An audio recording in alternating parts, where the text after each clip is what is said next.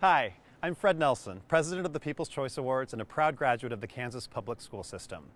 I grew up in Overland Park, where I spent kindergarten through 12th grade in the Shawnee Mission School District. I am so grateful to all of my amazing teachers there whose commitment to academic excellence inspired my love of learning. And I'm especially grateful for the wonderful arts programs I participated in, particularly the theater.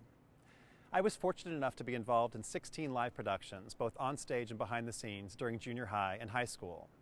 And while I had neither the talent nor desire to pursue acting in college or as a vocation, I have been applying those skills I acquired back then throughout my higher education and my career in advertising, magazine publishing, digital media, and television production.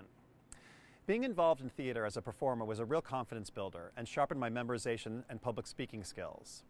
Working on all aspects of theater production, from set building to ticket sales to program design, honed my work ethic and leadership abilities while teaching me to be a team player and inhabiting a wide variety of characters on stage taught me empathy toward other human beings and inspired me to explore new ways of thinking. I recently attended a Shawnee Mission South class reunion and was struck by how many of my classmates also credited their arts educations with informing their careers and their lives. Strong academics are hugely important, but arts programs are just as vital in providing the tools that will turn today's students into tomorrow's leaders. Please, please continue to support arts programs in Kansas public schools. So many of us would not be where we are today without them. Thank you.